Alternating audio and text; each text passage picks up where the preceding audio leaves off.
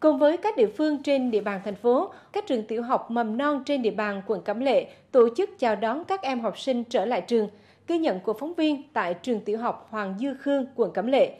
Các hoạt động được diễn ra đảm bảo công tác phòng chống dịch COVID-19.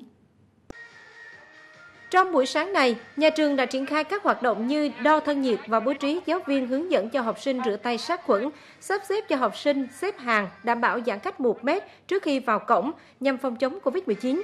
Đặc biệt, khi vào lớp học, các em sẽ được giáo viên chủ nhiệm giới thiệu về nhà trường, các khu vui chơi, thư viện xanh, triển khai nội quy, hướng dẫn việc vệ sinh cá nhân.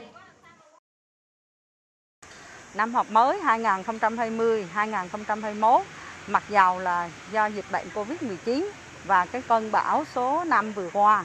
Nhưng mà ngày hôm nay là ngày 21 tháng 9 năm 2020, ngày đầu tiên học sinh đi học trở lại thì nhà trường cũng tổ chức một số hoạt động để chào đón tất cả các học sinh lớp 1. Nhà trường à, trao tặng à, hướng dẫn và tuyên truyền cho các em đội mũ bảo hiểm, à, tặng cho các em một món quà nhỏ để chúc các em một năm học mới gặt hái nhiều thắng lợi mới. Song song với hoạt động trên, nhà trường tặng mũ bảo hiểm và hướng dẫn đeo mũ đúng cách, tuyên truyền cho học sinh cần thực hiện việc đeo mũ khi đến trường nhằm đảm bảo an toàn giao thông.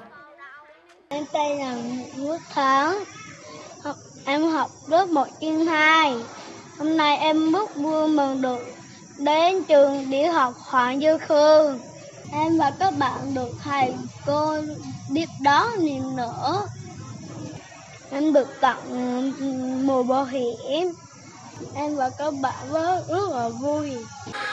Được biết, năm học 2020-2021, nhà trường chào đón 1.151 học sinh của 5 khối vào học tập, trong đó học sinh lớp 1 có 238 em vào 7 lớp.